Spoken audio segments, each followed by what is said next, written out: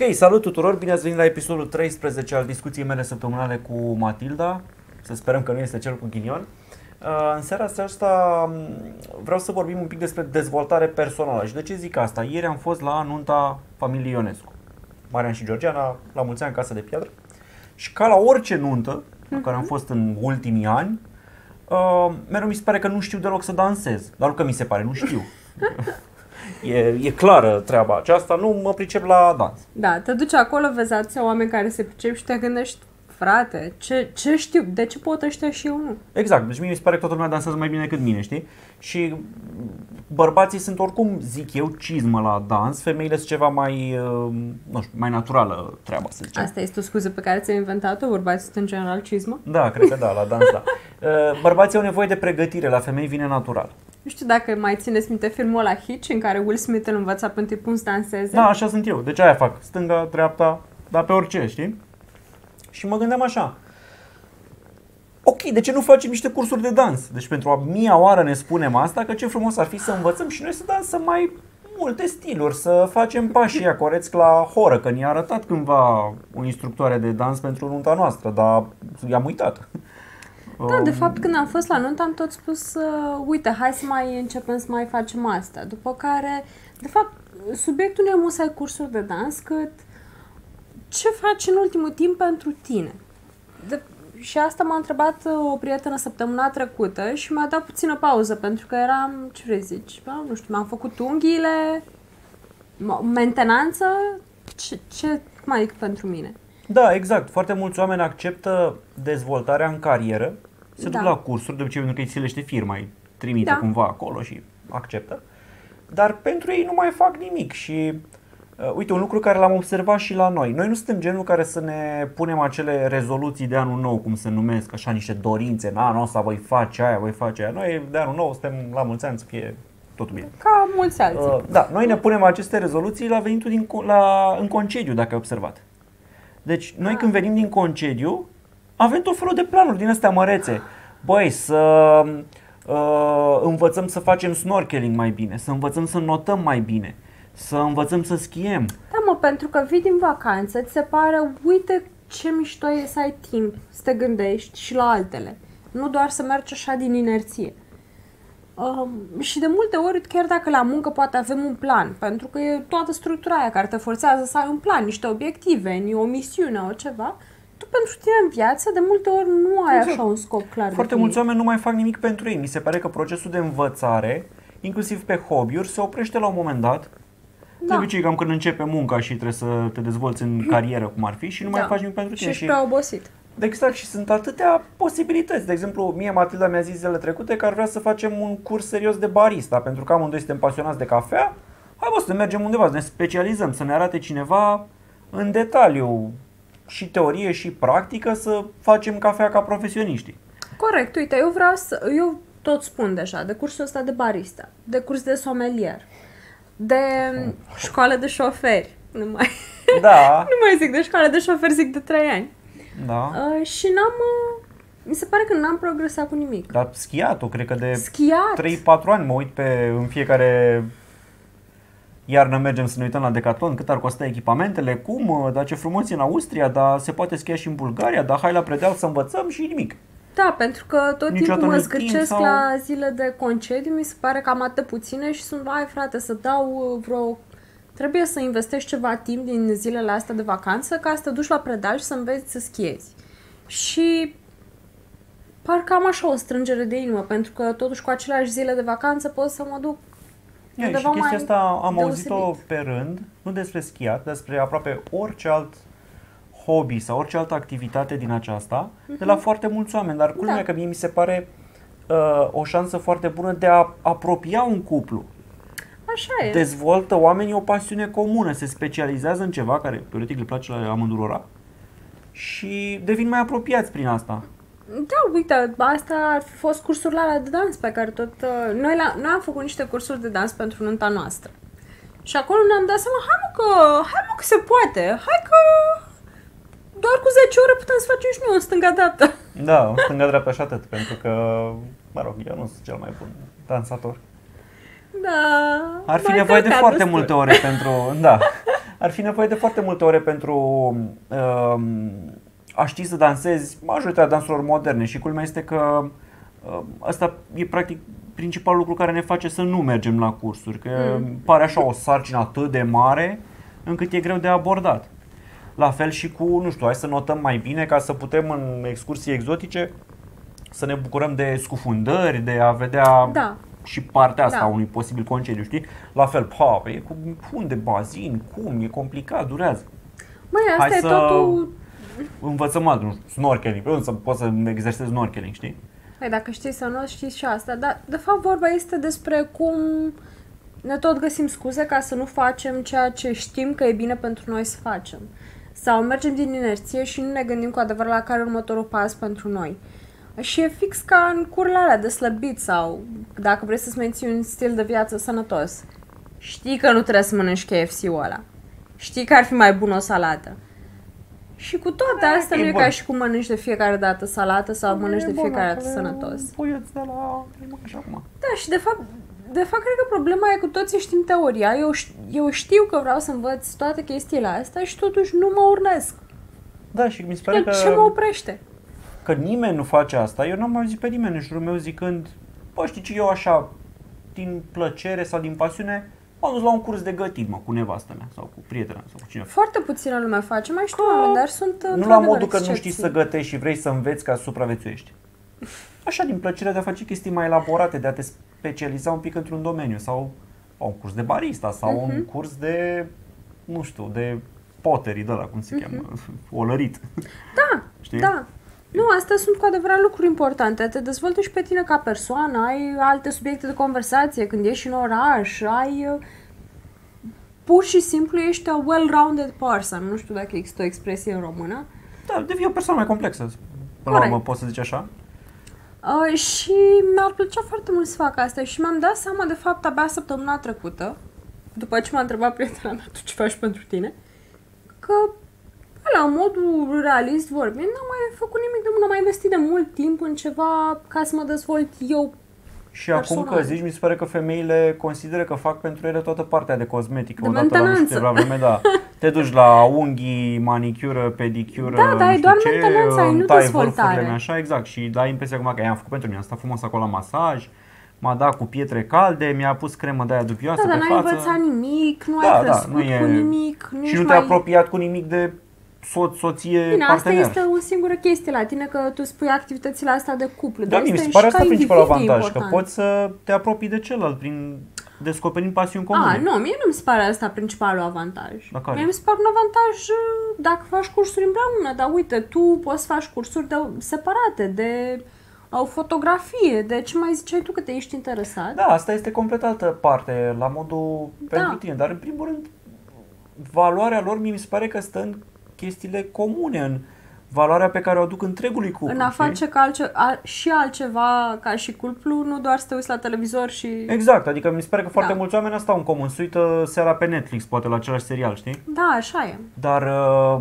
poți să zici la un moment dat, băi, știi ce, hai să, păi, uite la cursul de barista, de făcut cafea mai bun, e un exemplu bun. Hai mă, să-l facem amândoi, ca amândoi să avem acele cunoștințe și să fie un nou subiect în viața noastră, Mhm. cumva, știți? Să fie un nou subiect pe care să-l discutăm, să-l știm, să-l trăim, să ne ducem, să bem, să încercăm.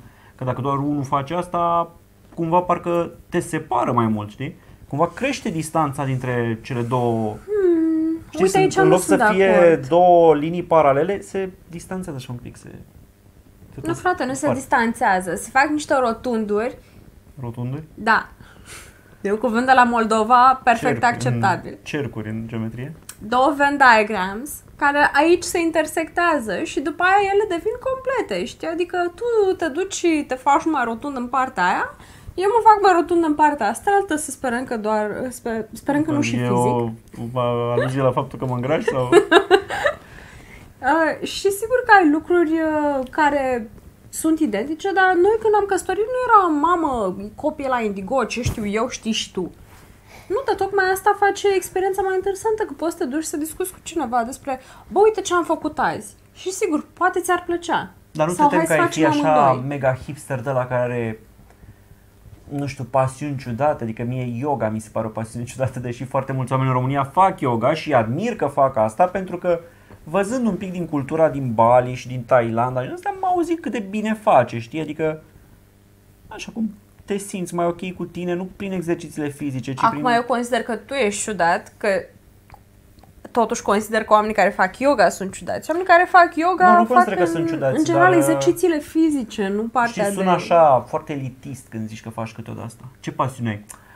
Um, nu știu, fotografiez cai sălbatici în pădurile României. în weekend asta este pasiunea mea secretă, știi? Sună așa, zici că e un fel de supererou, dar nu în slujba justiției, știi? Dar e așa o putere secretă. Dar mie mi se pare mișto. Eu vreau să fiu acest hipster uh, neînțeles. Eu sunt ok cu Da, asta. și eu zic că e mișto. Uite și astăzi am fost prin Herăstrău și o grămadă de barcuțe de alea, nu știu cum să le zic, cu o pânză care Barcuțe cu profitau. vele, da. Da, un mici velier. Mă rog, știu niște Ce Da. barcuțe erau? cu pânze care profitau de vântul din, uh, de pe lac și mergeau din stânga dreptul acolo. Mi se pare o activitate frumoasă, știi? Mhm. Da, era un chestie grup de care probabil- oameni, erau foarte multe bărcuțe și ne-am gândit că probabil au o activitate de grup, uh, au avut o Da, o activitate fi de un grup club azi, ceva, că de dar obicei nu vedem e un- atât de multe. Sunt niște oameni care în mijlocul Bucureștiului au zis, uh, uite, noi vom găsi o pasiune în Nautică. da, o pasiune nautică în lacul Herăstrău. Frumos. Da, e și e cumva neașteptat. Și mi se pare că nu trebuie să fie ceva foarte complex. Adică la fel de bine am putea merge amândoi la tenis, să zicem. Hai să jucăm tenis. Și nu trebuie să fim performanțe în asta, dar e suficient să zici, bă, da, hai să mergem, să încercăm, să vedem dacă ne place.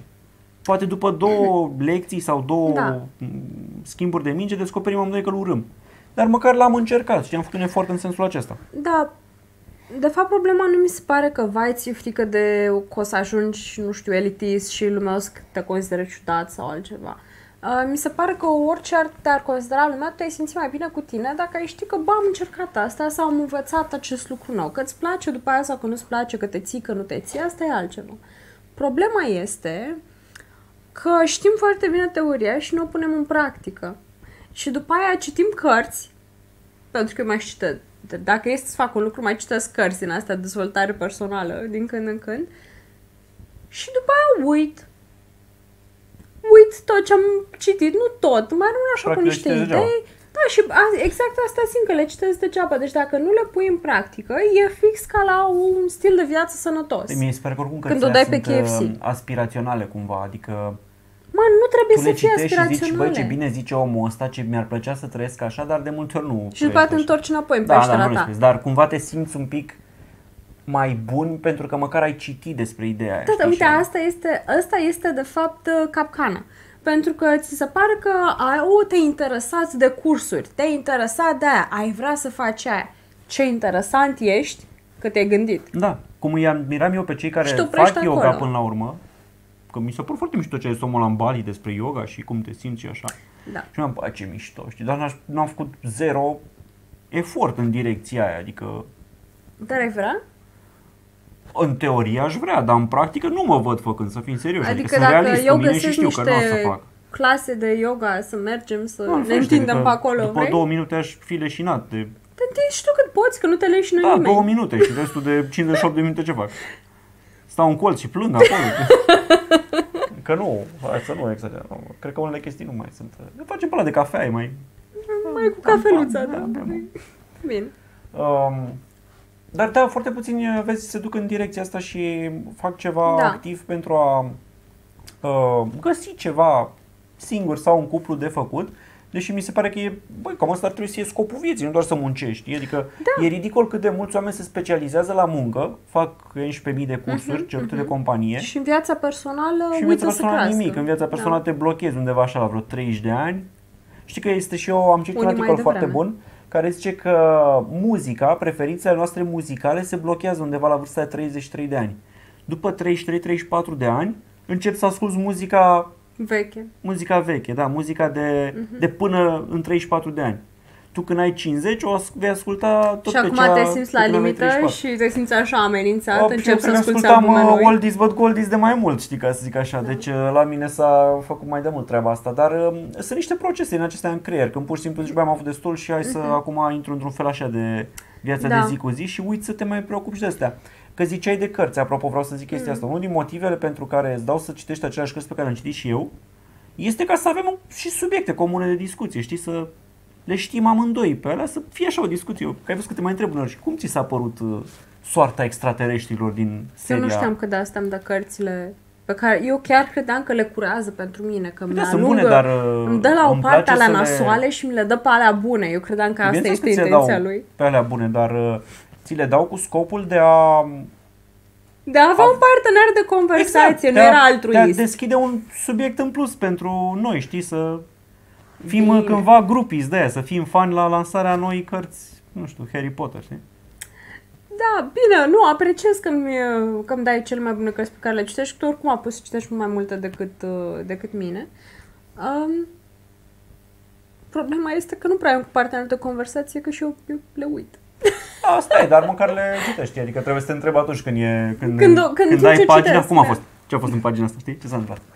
Da, nu, dar uh, de fapt de ce am vrut să facem episodul ăsta despre dezvoltare personală este Că Să suntem vă frustrați punem- că nu dansăm bine.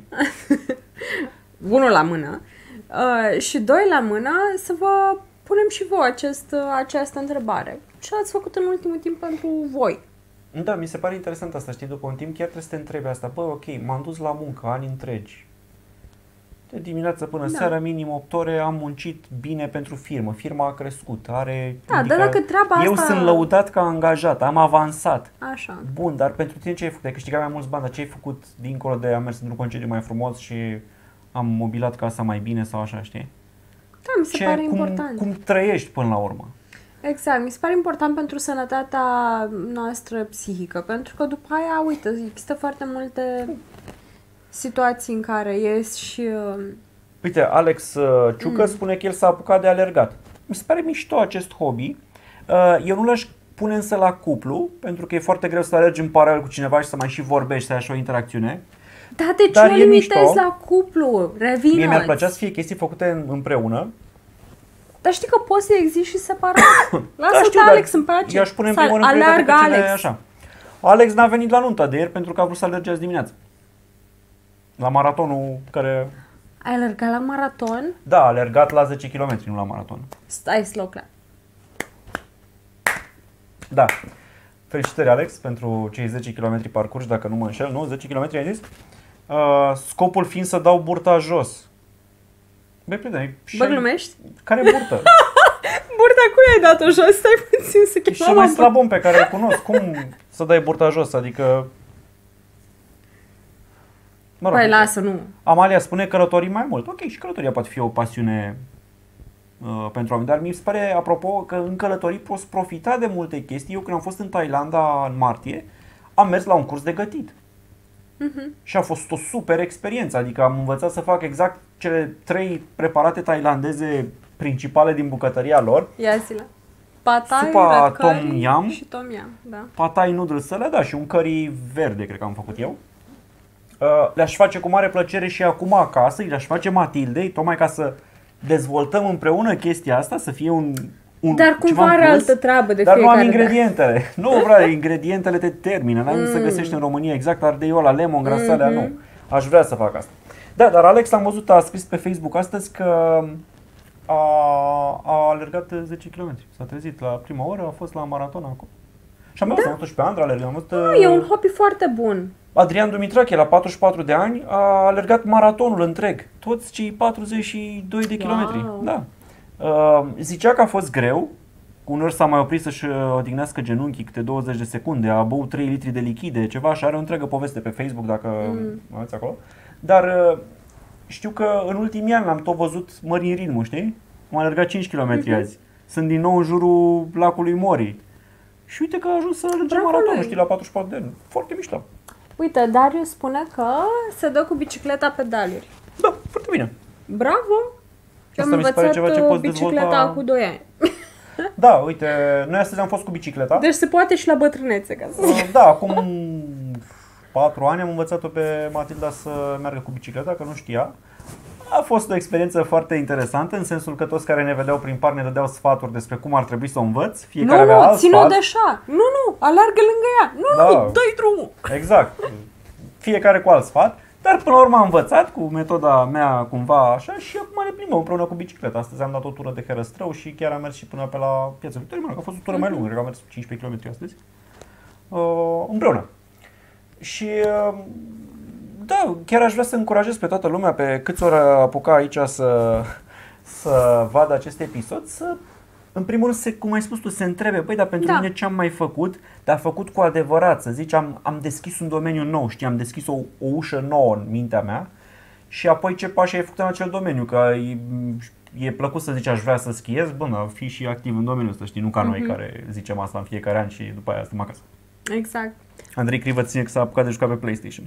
Da. Se pune? Da, eu cred că se pune. Și eu am început să mă joc jocuri pe calculator, uh, Da. am reînceput în ultimul timp și mi se pare că am învățat ceva nou, adică skill-urile alea de coordonare sunt destul de dificile. Da, eu și cu Matilda ne jucăm uh, Players Unknown Battlegrounds, dar nu ne Mai jucăm rar în ultimul foarte timp. rar pentru că ne-am jucat de fapt când am prins eu câte un laptop la testat și atunci eu am jucat de pe calculatorul meu, ea de pe laptopul pe care l-aveam în casă.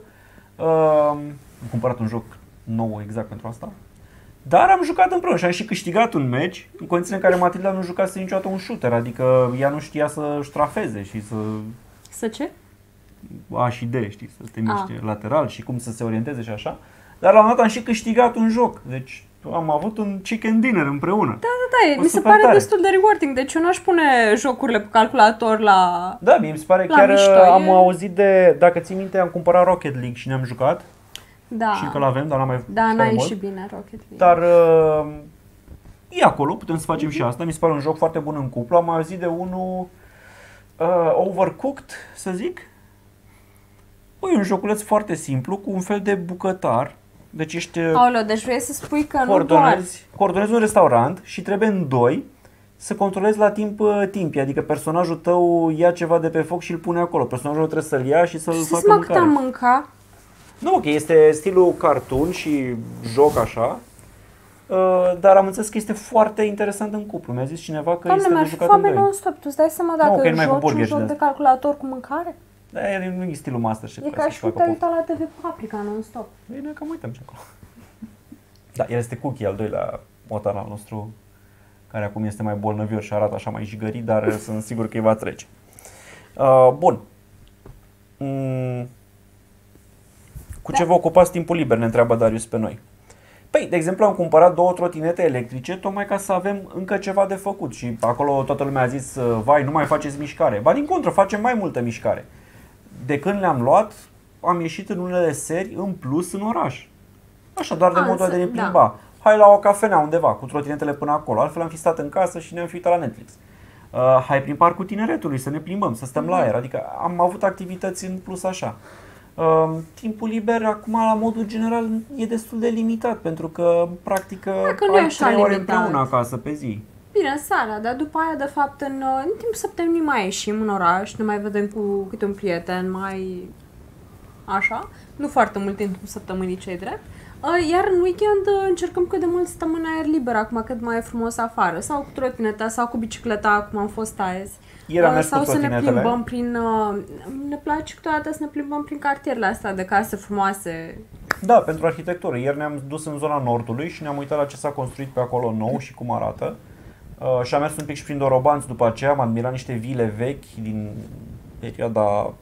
Dar cartierul ăla din Post-război. Nordului, complet nou, toate, toate casele, toate blocurile noi, mi s-a părut foarte interesant că există așa o comunitate atât de nouă, atât de de la zero făcută și atât de aproape de centrul Bucureștiului, cum ai spus. Da, E, e puțin impersonală, nici nu sunt sigură dacă îmi place încă, dar vă recomand să mergeți să vă plimbați pe acolo pentru da. că e frumoasă. așa. Da, deci plimbatul cam și asta facem în descoperitul timpul orașului liber. poate fi o activitate plăcută. Deci ieri am fost cu trotinetele, ne-am oprit Da. undeva, am mâncat un brunch, Uh, Astăzi am mers cu bicicletele, ne-am plimbat prin Herăstrău, am stat la aer cum ar fi, ne-am ocupat un pic și cu pisica, care trebuie să o duci la veterinar, dar vorbim o dată despre asta. Cam asta este timpul liber. Uh, Nuntă ieri seară până la două dimineața. Casă de piatră! Da, chestiile acestea. Hai ca să încheiem așa cu subiectul acesta. Uh, Aș spune că, serios, gândiți-vă, ok, pentru mine personal ce am făcut, nu doar pentru cariera mea, și alegeți-vă ceva de făcut, de un hobby, de dezvoltat, de... Sigur e vreo pasiune pe care ați vrea să o aprofundați și faceți asta, pentru că trece timpul și ar fi păcat să nu profitați de munca pe care o depuneți în sigur în timpul Da. zilei câștigurile respective, reinvestițiile în uh, viața voastră, ca să zic așa. Uh, aveam un subiect cu care eram uh, datori, nu cel al oamenilor înaripați care au construit uh, piramidele din Bucegi, cum vrea Andrei Dobre, Ah, uh, cel cu tunsoarea.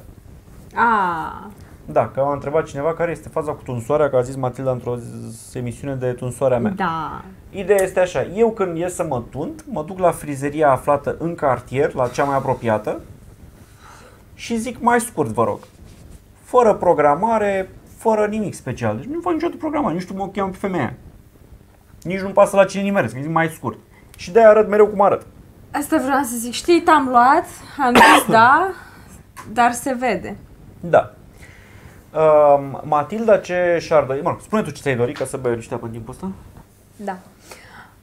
Eu nu înțeleg, deci Radu nu vrea să se ducă la un stilist. Să zici, bă, uite, sunt foarte multe tunsuri acum pentru băieți, mi se pare că este perfect uh, social acceptabil să nu faci pe durul și să zici mai scurt, ci să te duci la cineva care se pricepe cu locul, cum arăți, ce-ți vine bine, la stilul tău de păr, cam cum ar trebui să ți-l faci, cum ar trebui să-ți stea. Și în același timp să-ți creezi o tunsoare care nu-ți mănâncă câte jumate de oră în fiecare dimineață să ți-o aranjezi. Adică, believe it or not, nici, măcă, nici fe, toate fetele nu-și doresc niște tunsori din alea de să stea cu gel de fiecare zi, nici bărbații nu trebuie să aibă asta. Dar totuși, un specialist e un specialist, iar o frizeriță din cartier nu e chiar așa specialist, adică serios, femeia aia te ia cu o mașină ca pe iepuri, adică Dar nu, că eu zic din farfec. care e diferența între unul care Eu tunde zic din- oaie din și foarfecă. cineva care te tunde pe tine, același set Folosește of skills. farfeca. Eu zic din farfecă, serios. Mai iau uneori Ca cu să- mașina, că nu... Deci îți jur, cred că zici din foarfecă ca să te simți mai bine. Știi că zici, oh, Da, ca la ok, un dar acum barbershop. să zic eu de ce nu vreau să mă duc la un barbershop simandicos. Până la urmă nu e vorba de bani, că oricum eu mă tund la modul, cred că la două luni și înainte era cam trei luni și apropo eu mă tund, uh, cum să zic, uh, în general, sau mă rog, mulți bărbați se tund ca să arate bine. Știi, e ca o curba lui Gauss, așa, unde arăți nașpa, arăți bine, ai un maxim de arătat bine la tunsoare, după arăți din nou nașpa, știi, și trebuie să te tunzi iar. Eu nu mă tund să ajung în vârful curbei, eu mă tund să ajung mai, un pic mai devreme și să arăt bine într-o săptămână, să mai îmi crească un pic părul, să stea mai bine, știi? E un plan uh, calculat. Dar Deci vedeți despre ce am vrut să discutăm? De Da. ce am vrut să discut cu voi ar putea, despre fi, ar putea fi un episod mare asta, dar This ca is să-l an scurtăm- intervention. Exact. Noi doi și cu camera aceasta. Dar ca să-l scurtăm, uh, de ce nu fac asta? Pentru că majoritatea tunsorilor care arată bine trebuie să te dai cu o mie de geluri și de alea ca să le întreții. Adică ieși de acolo arătând bine și a doua zi ca să arăți din nou cu freza aia făcută nu știu cum, trebuie să te dai cu gel, cu fixativ, cu alea. Și nu vreau să mă dau cu Ok. nimic în cap. Acum ce vă rog eu pe voi, dați-mi exemple de oameni care s-au tuns, care arată mișto, au o tunsoare cât de cât potrivită lor și nu trebuie să stea câte jumate de oră în Nimeni. fiecare dimineață. Păi de ce să-mi stai câte jumătate? de oră? Aproape toți băieții.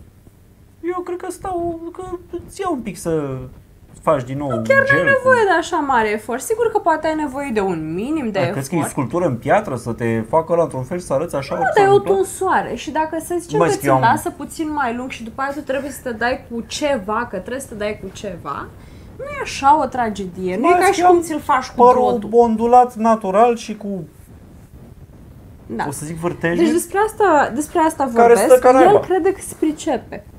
Mai bine decât un specialist.